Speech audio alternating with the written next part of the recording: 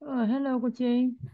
Bữa Hello chị nay Hạnh. bữa nay em em không có ghim ờ, cái ờ, cái đường Ủa, link đó thành ra chị tìm không ra. ủa vậy hả? Em cứ Chị tưởng là tìm em mãi, ghim em ghim chị đó tìm rồi mãi chứ. sao cuối cùng không không biết sao nó bị thoát ra sao chị tìm mãi cuối cùng chị tự ghim lại luôn.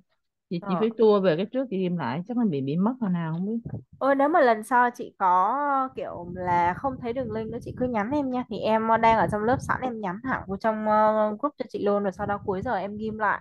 Như vậy thì đỡ không chị phải tìm.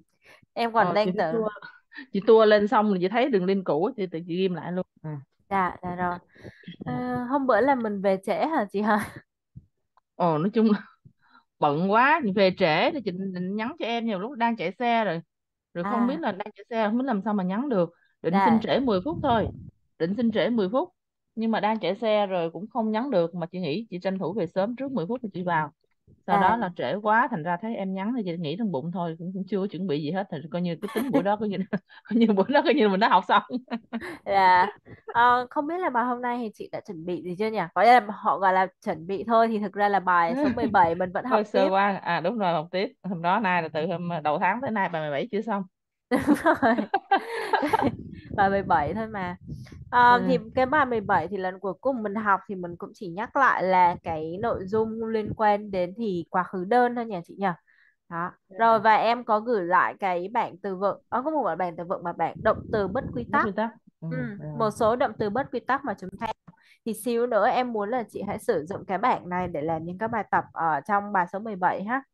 Rồi, À, rồi. mình ôn lại một chút xíu về cái thì quá khứ đơn của bài 17. Rồi, nhắc đến thì quá khứ đơn là chúng ta sẽ nhắc đến các loại động từ nào nhỉ chị nhỉ?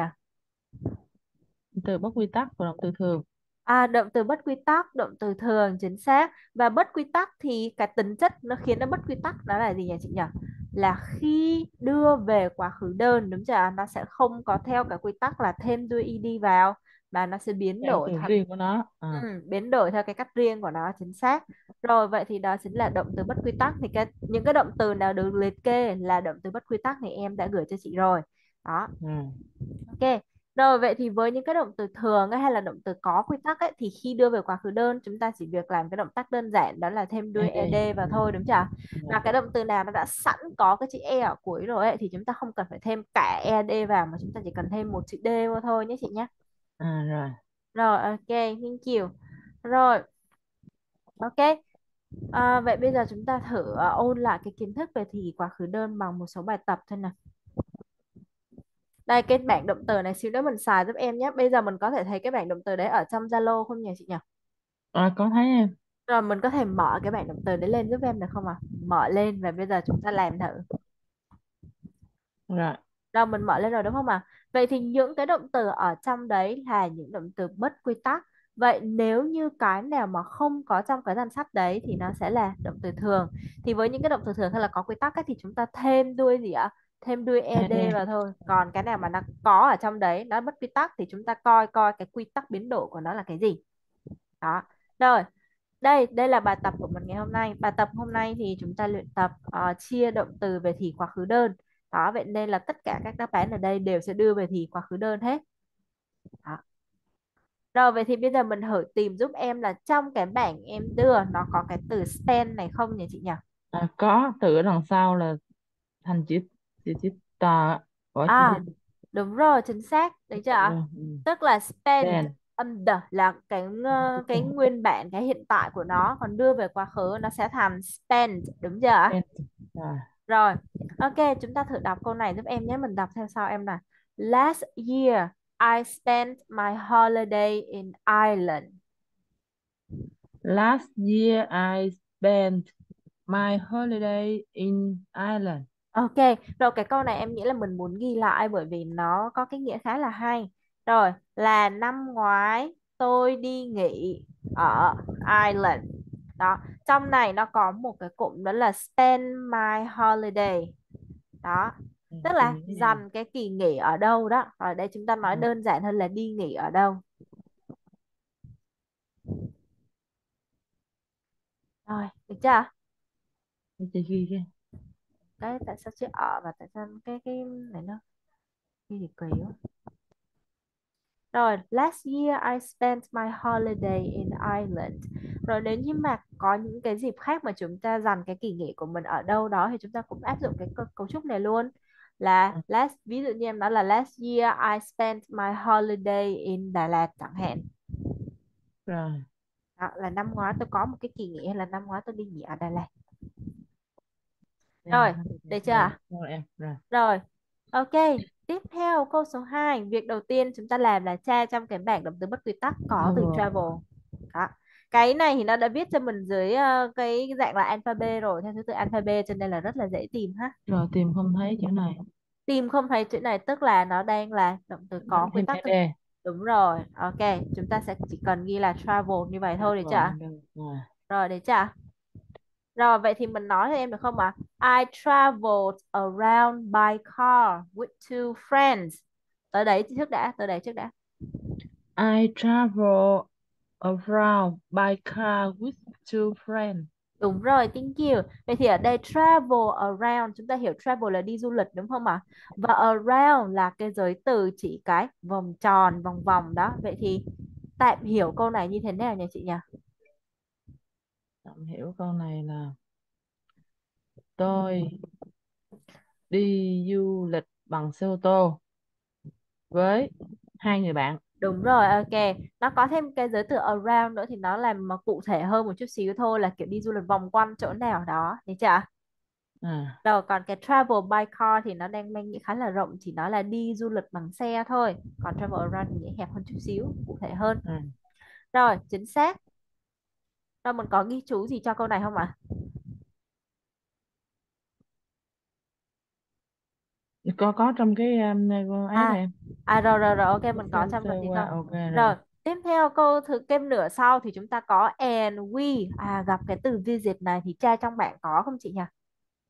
Mình chỉ tìm không thấy từ này Không thấy tức là chúng ta thêm ed đúng à, rồi để thành visited. visit Đó, visit cái này phải đọc là visited. Rồi thì chúng ta nói là and we visited lots of interesting places. Rồi mình đọc theo em ha.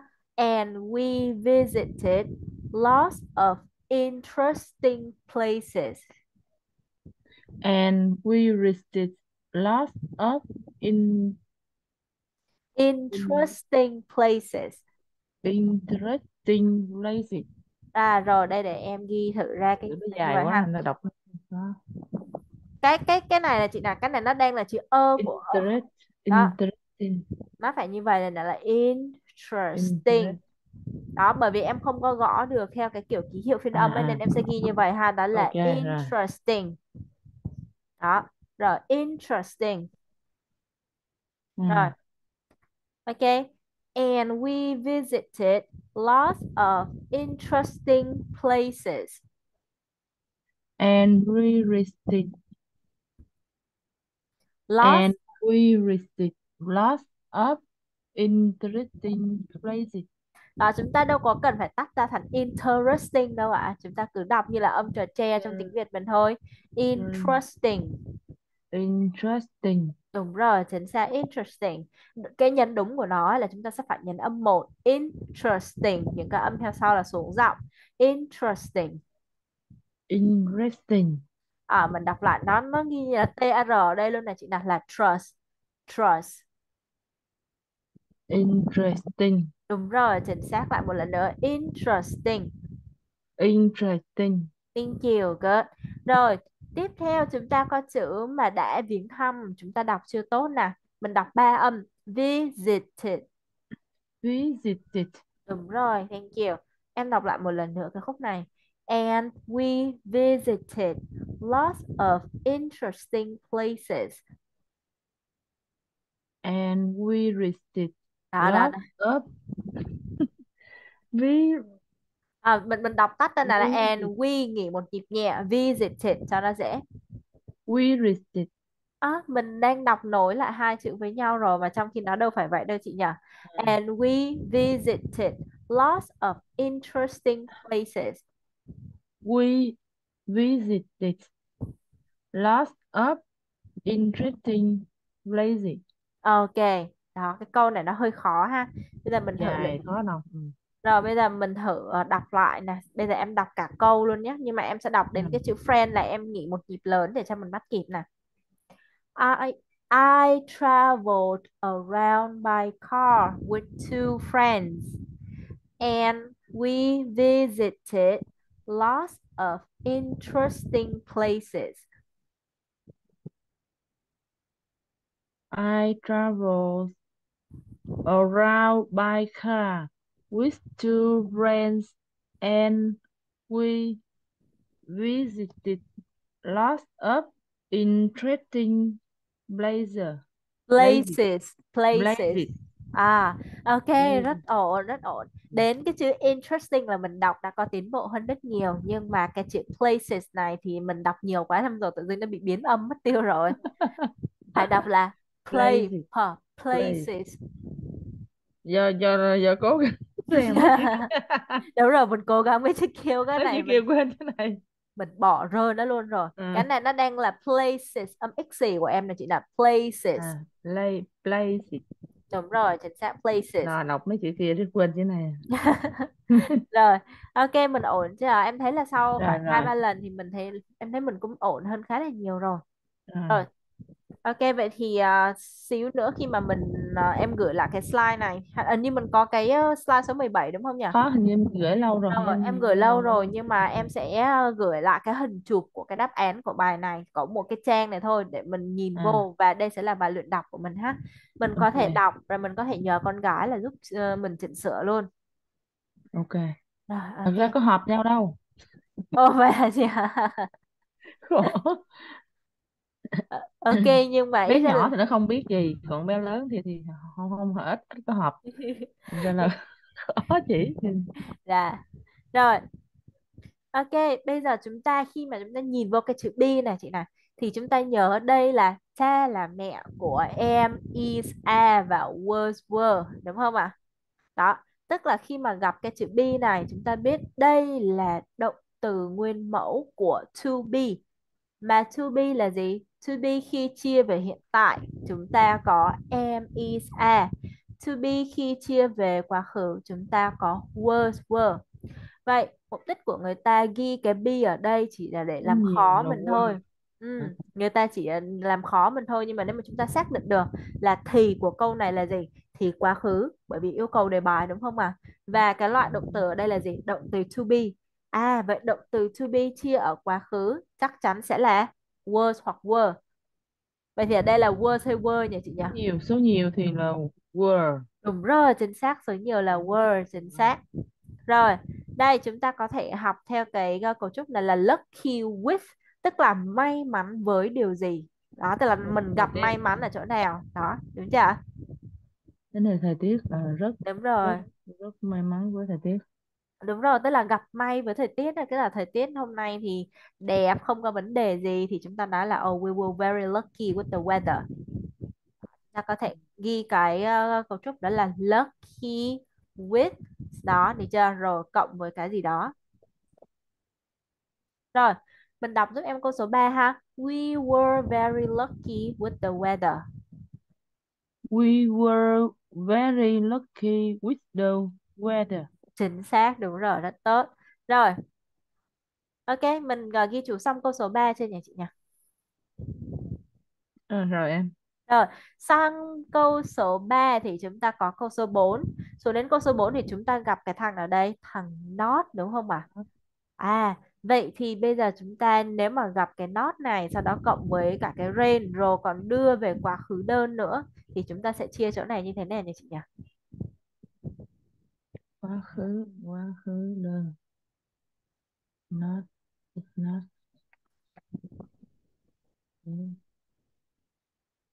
Là, là did, Did đúng rồi, đúng rồi, chúng ta thêm did did, trước not hay sau didn't, didn't đúng không ta? Đúng đây? rồi, didn't chính xác rồi. Ok, vậy thì chúng ta làm được một nửa rồi. Vậy còn cái chữ rain theo sau á chị, chúng ta giữ nguyên hay là chúng ta có chia thế nào nữa không ạ? Hôm trước, phần quá khứ. Quá khứ thì giữ nguyên. Ừ, rồi chính xác. Ran, Đúng rồi, bởi vì bởi vì bản thân cái thằng did nó đã gắn cái phần quá khứ cho động từ rồi. Nên động từ theo sau nó không cần phải phải thêm quá khứ làm gì nữa được chưa vậy nên chúng ta ghi didn't rồi thì cộng rain sẽ là nguyên mẫu đúng không ạ đó rồi mình đọc lại giúp em được không ạ it didn't rain a lot à, khi nào đô đơ hoặc ừ. thì động từ trở về nguyên mẫu đúng rồi Đúng rồi, chính xác khi nào do, does hoặc did thì động từ trở về nguyên mẫu. Rồi vậy thì mình nói lại cái câu số 4 giúp em được không ạ? It it did mình đọc đi ạ. it didn't rain a lot Đúng rồi, câu này có nghĩa là gì chị nhỉ?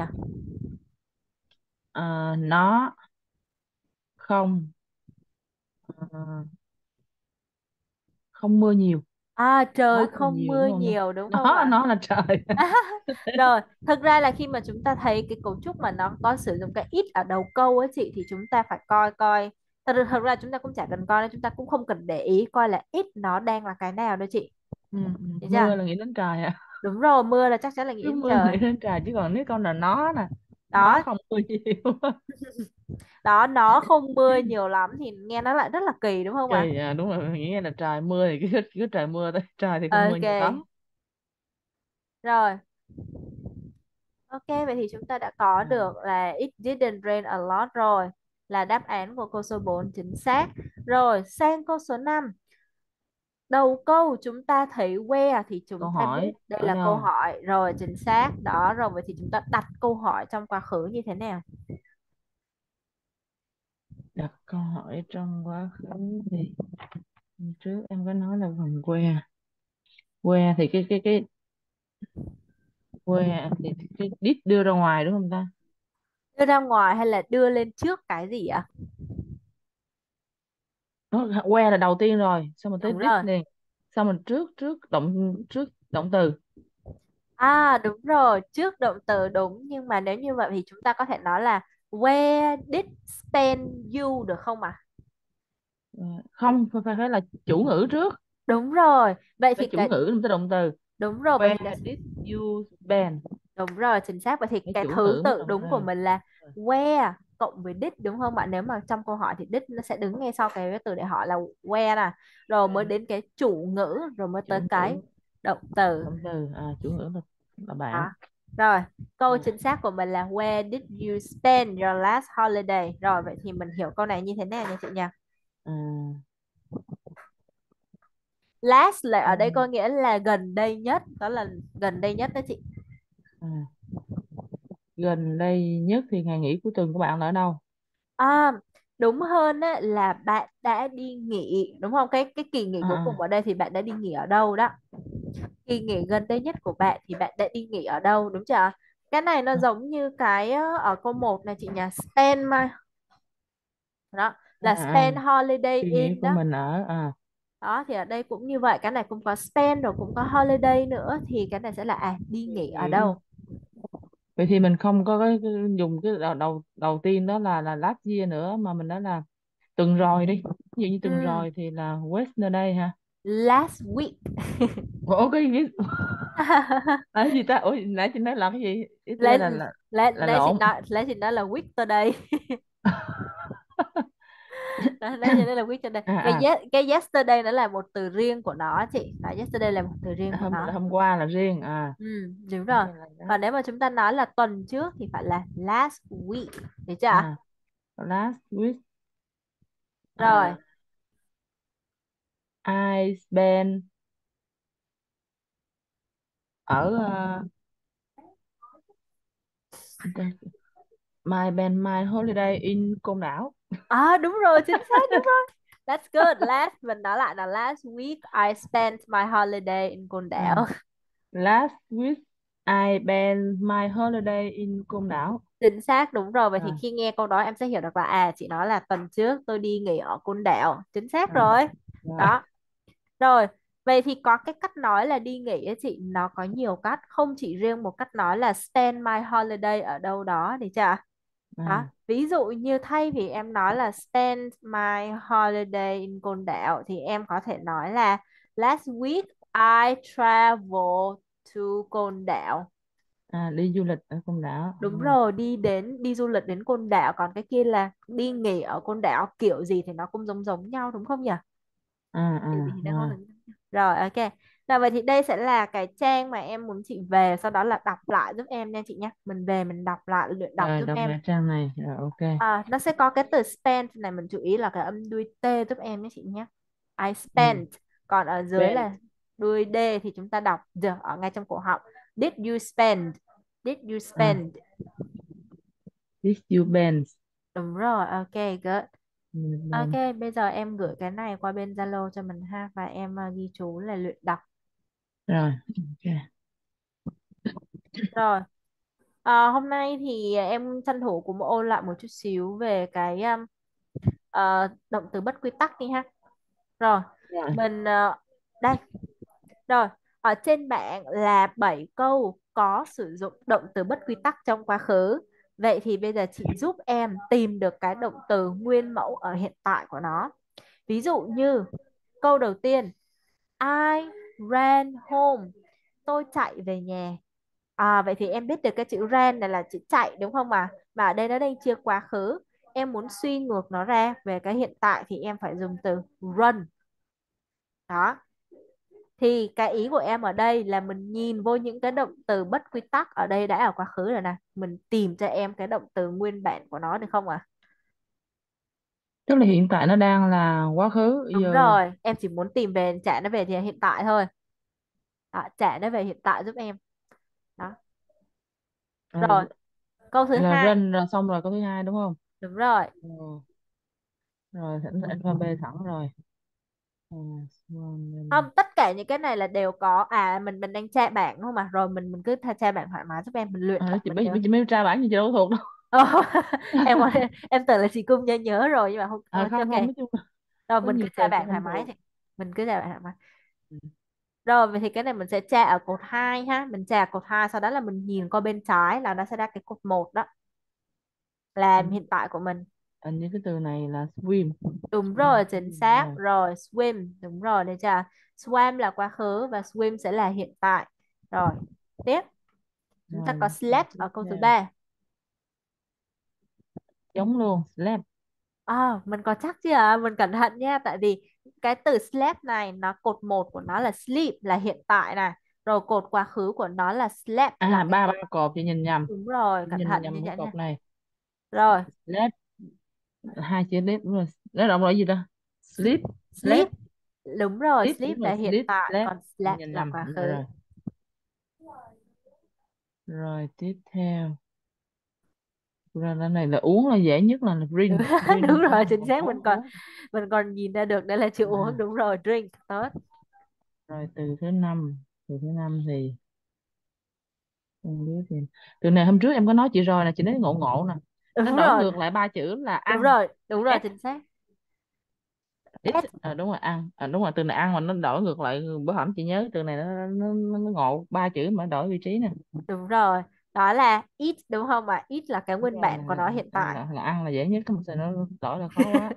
Không cái này em lại thấy là dễ chị kiểu như đổi đổi như vậy thì mình đổi vị đọc. trí thứ tự thôi à. À, đổi vị trí đặc thứ biệt tự. hơn.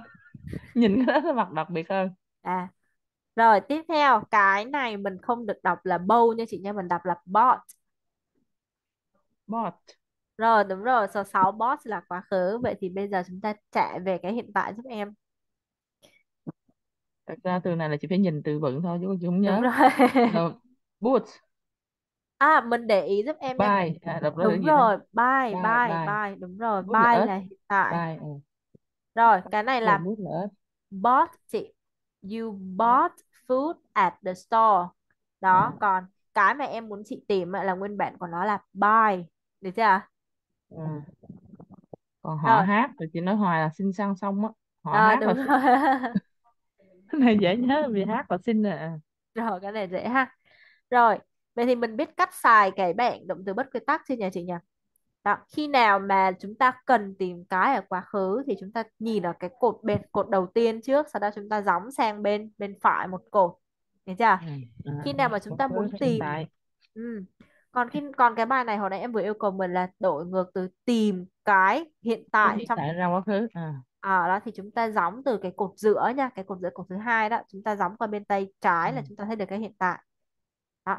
Nói chung thì là cái bảng của mình nó sẽ như thế này đúng không? Mà là có ba cái cột đó thì cái cột đầu tiên thì em hay gọi là cột một á thì nó sẽ là cái động từ ở hiện tại của mình được chưa rồi ở giữa sẽ là động từ cột 2 sẽ là quá khứ đơn thì mình tập trung vô giúp em cái cột một và cột 2 thôi cái cột số 3 thì tạm thời mình bỏ qua nha chị nhé ừ.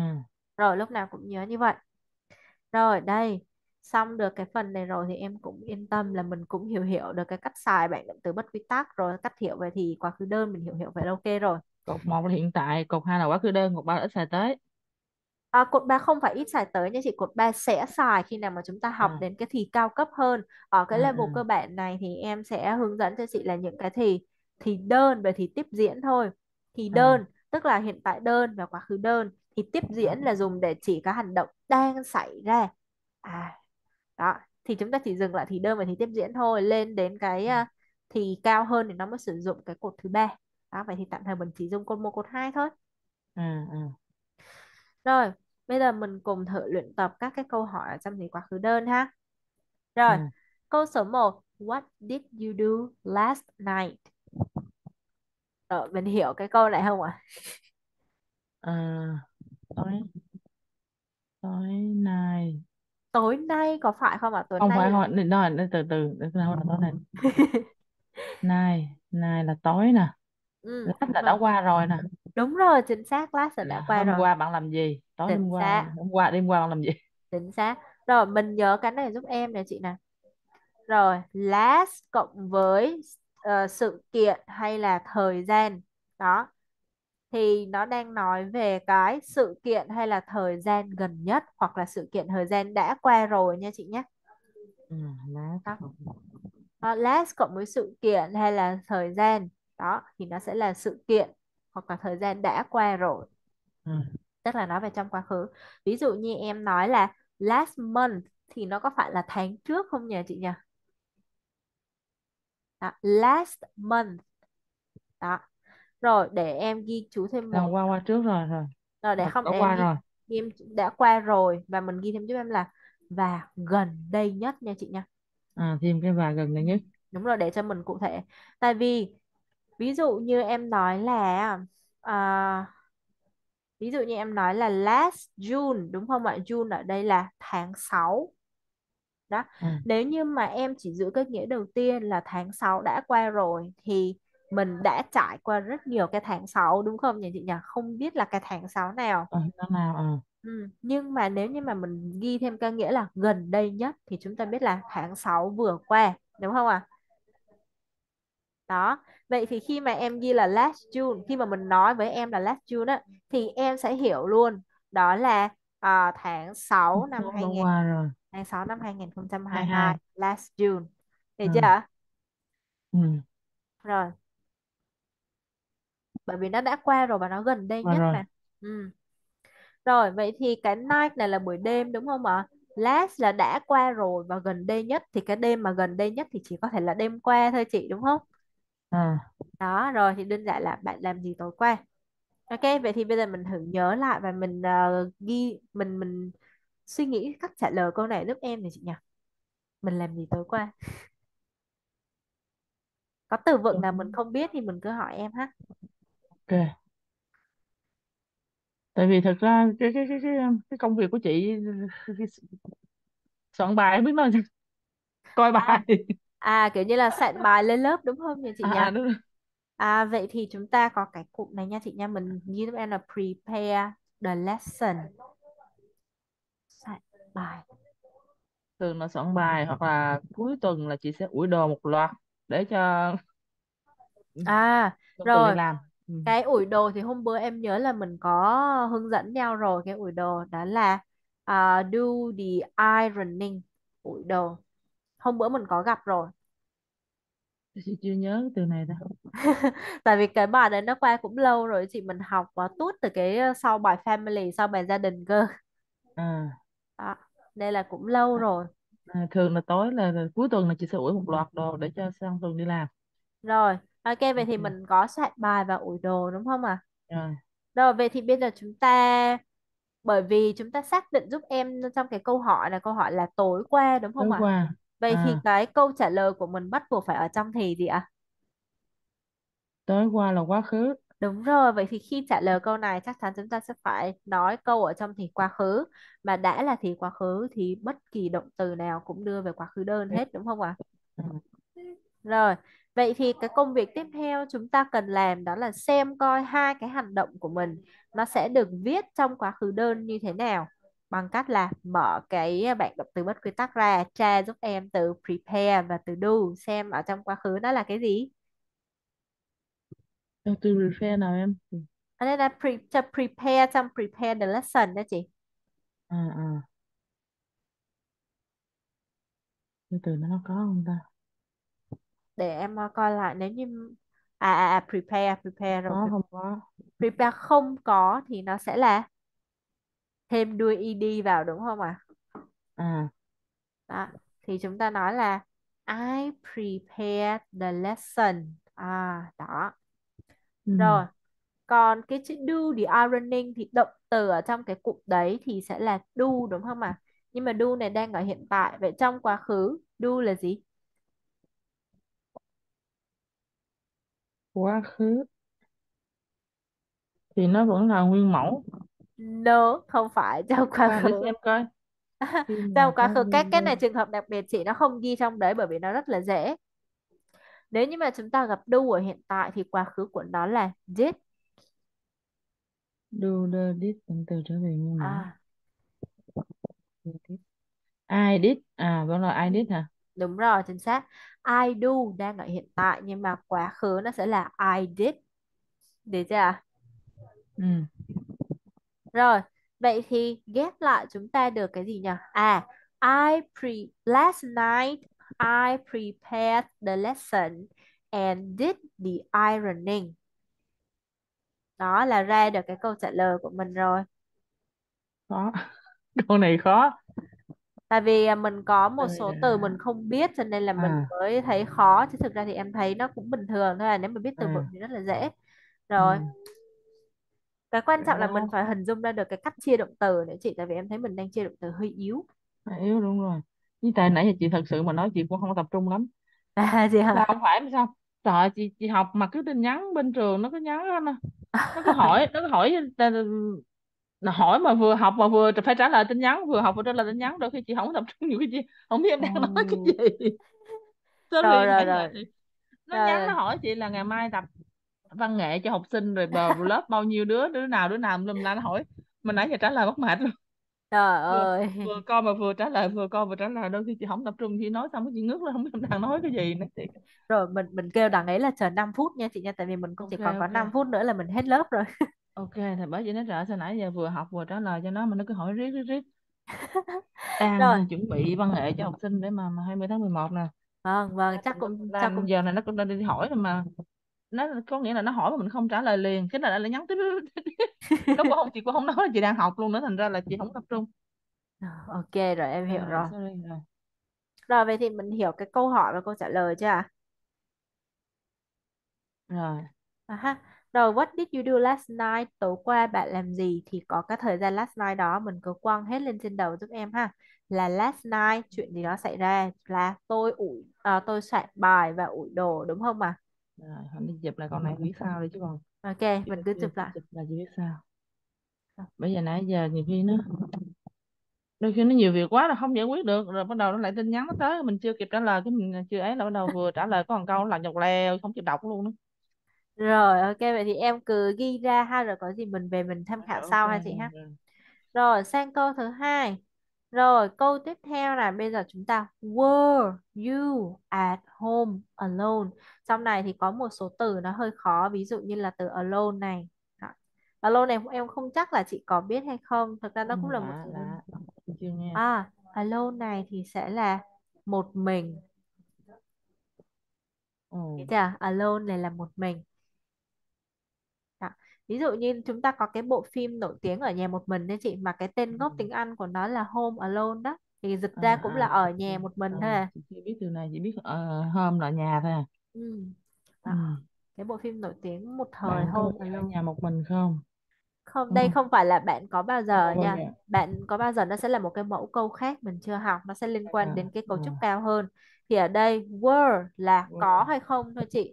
Were à. you were were you was he was he đó. Bạn đó có đúng đang rồi. ở nhà một mình không? Hả? Bạn có nhà mình không hả? Lúc thì chúng ta phải coi coi là cái này nó đang hỏi là nó nó đang hỏi là ở lúc nào và chúng ta nhìn vô cái were là chúng ta hỏi quá khứ đúng không ạ? À tức ừ. là cái câu số một nó đang hỏi last night là đêm hôm qua nè. Thì cái câu hỏi. 2 nó nối tiếp cho câu hỏi à một. à hiểu rồi. Đêm đó. đêm qua thì bạn à, làm gì? Bạn có nhà mình không? No. Rồi ok no. Chính xác. Rồi vậy thì à, chúng ta là có thể nói thêm là kiểu như là ở với ai này chị nào? I was uh, were. at home. Two at home. Two daughter. Ừ, chúng ta phải nói là with nữa nha ở với với. ai nữa? Đó. À, mai à, rồi. Rồi mình thử lại ha. No I was at home with my two daughters. No I was at home with my two daughter rồi ở đây chúng ta ghi chú giúp em là có cái mà em là is a was were đó at home. Là ở nhà được chưa? Ừ. rồi cộng với with cộng với người ở đằng sau nữa là ở với ai? Đây nữa ở với ai với rồi biết rồi. ví dụ như khi mà em bảo là à, hồi tuần vừa rồi thì em về nhà thì em có thể nói là last week I was at home with my family. Tuần vừa rồi không đi đâu hết chỉ ở nhà với gia đình thôi. Last week I was at home with my family. Chồng thì về chồng chị thì về nội rủ về mà con nó mắc học học tiếng Anh thứ bảy chủ nhật cứ mỗi lần về nội là phải nghỉ tiếng Anh thứ bảy chủ nhật. Ờ, trung tâm thì thứ bảy chủ nhật là học thôi. Hôm nào về nội là bắt buộc phải nghỉ một buổi rồi ráng lắm là học được thứ bảy học xong thứ bảy là trở về là coi như phải nghỉ chủ nhật. Ờ, dạ rồi. khổ Ôi, vậy ừ. mà mình, các ờ, ngày trong tuần là học mà ờ, ở trường rồi nhưng mà riêng thứ bảy chủ nhật là học trung tâm tiếng Anh á. Dạ, cho nên là mỗi lần ông về nội ông rủ là là không về một hôm nào về là phải nghỉ ngày chủ nhật. Ờ, ủa nhưng mà lần nộ của mình là chắc ở xa lắm hả chị hả? Cũng không xa em ở Đồng Xoài Bình Phước á À, nhưng mà thường là tình, học xong là về ôi nhưng mà vậy cũng nó đi xa rồi còn gì nữa em nhớ là từ đây xuống Bình Phước cũng phải 3 tiếng phải không ta? đúng rồi đúng rồi khoảng ba Đó, tiếng đó đó tầm 3 là là do ở trong đây thôi chứ còn nọ là quê ngoài Bắc cơ nhưng mà vào đây lâu rồi dạ, dạ rồi. cứ cuối tuần vài tuần phải về vậy đó nhưng mà không có về Nha. Rồi mình à, chốt cho em hai câu trả lời trước ha. Câu đầu tiên là à, đây câu câu cho cái câu last night này chị nè. Đó. Rồi câu thứ hai là cho cái câu mà were you đó mình chốt cho em hai câu trả lời này trước. Hôm sau thì chúng ta đi tiếp ha. rồi để chị chụp lại màn hình cái Đó. rồi Rồi, hôm nay mình chốt vô đây trước, hôm sau mình đi tiếp. Đó, mình vẫn còn một số câu nữa. Cái bài 17 này hơi dài nhưng mà học được thì quá khứ đơn thì nó rất là khó nên em muốn đi từ từ. Đó. ok Rồi, một cái lưu ý cho mình khi mà mình muốn ờ, chia thì cho động từ chị là mình phải xác định coi cái tình huống, cái bối cảnh của cái câu hỏi đó nó đang ở thời điểm nào. Được chưa? Nếu Ừ. như nó là ở hiện tại, đó, tức là bây giờ ấy, thì chúng ta chia về các thì hiện tại. Nếu như nó là việc đã xảy ra rồi hay là xảy ra vào một ngày trong quá khứ thì chúng ta chia về quá khứ, được chưa? rồi rồi, và nó sẽ có một số dấu hiệu để giúp mình nhận định được câu nào đang là câu hỏi hiện tại, câu nào là câu hỏi quá khứ. Ví dụ như uh, em hỏi là What do you do on Sunday? Thì chị xem giúp em câu này em đang hỏi ở hiện tại hay hỏi ở quá khứ ạ? để chị nhớ rồi ngày chủ nhật bạn làm gì là hôm qua qua rồi là ở quá khứ rồi À vậy thì mình chưa biết cách xác định rồi. Chúng khoan để ta từ từ hôm ta bạn làm gì vào chủ nhật à không không phải bạn làm gì vào chủ nhật là hỏi thôi mà đúng rồi, chính bạn xác. nó chỉ hỏi thôi chứ phải là ngày chủ nhật bạn làm gì là khác Đúng rồi. đây là bạn làm gì vào chủ nhật Là thường thường đó bạn làm gì vậy ờ chị ờ nhỉ? ờ rồi Đó. hiểu rồi Một hồi cái nãy chị cách bị nhầm là bạn làm gì ngày chủ nhật là khác Đó. Vậy thì cái này thì nó không thể nào hoàn toàn dựa vô cái ngày tháng đúng không ạ? Bởi vì ờ cái ngày chủ nhật là có rất nhiều ngày chủ nhật, ngày chủ nhật trong quá khứ, trong hiện tại và trong tương lai có tùm lum hết. Vậy nếu bạn như làm chúng ta cứ căn cứ vào cái à, thời gian đó thì chúng ta sẽ không có xác định đúng mà chúng ta phải dựa vào đâu ạ? Vào động từ ở trong câu hỏi. nãy chị hiểu sai ở chỗ là chủ nhật rồi bạn làm gì là Đó, không đó, phải đúng đó. không chủ nhật rồi bạn làm gì là không phải mà Đó, là ngày chủ nhật bạn làm gì đúng rồi, thường thì chủ nhật bạn làm gì? ừ à, à. Rồi, vậy thì câu tiếp theo em đang ghi ở thị nào nha chị nhỉ? ok câu tiếp theo hỏi tới bạn làm gì cũng gần giống câu kia nhưng mà là bạn làm gì vào chủ nhật Đó cũng gần giống câu kia nhưng mà như thế nào ạ? Một bạn làm cái là gì do, vào chủ nhật một cái là did thì à thì chúng ta thấy được sự khác nhau chưa ạ? rồi Một cái là em hỏi kiểu như thường thường bạn làm gì vào chủ nhật, tức là hỏi trong hiện tại ấy. ừ, ừ. À, rồi còn cái còn lại thì sao ạ? Em hỏi là hôm bạn qua, đã làm gì đúng không rồi. Đó, hỏi là là chủ quá nhật khứ ừ, chủ nhật vừa rồi bạn làm gì? Chính xác, đương nhiên là ồ phải chia ra hai quá con khứ. này lại đúng rồi ở trên là hiện tại dưới là quá khứ Đó. Rồi, từ hai cái câu này em chỉ muốn chốt một ý thôi, đó là để xác định thì của câu bằng động từ. Được chưa? Hôm sau em sẽ đi tiếp cái vấn đề này. ừ. đúng rồi hai con này giờ nếu không là dễ bị nhầm nè Đó. What do you do on Sunday? Một câu hỏi là hỏi về thường tính thường xuyên. Cái thứ hai, what did you do on Sunday? Tức là cái chủ nhật vừa qua đó, bạn đã làm gì?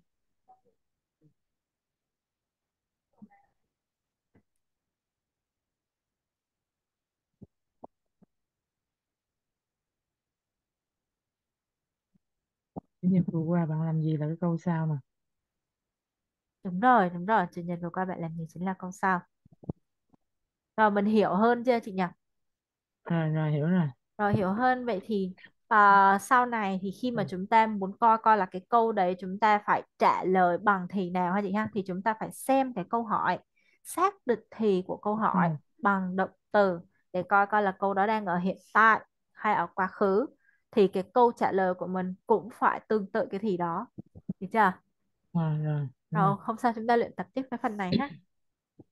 ừ. rồi cảm Rồi, ơn em. ok cảm chị ơn mới chị tập rất trung nhiều. quá. Lại đang nói Dạ, thứ năm này không biết làm sao thì không biết thứ năm có có có có, có, tập trung có học có thời gian học không? Thứ bắt năm đầu có sự kiện gì à chị hả?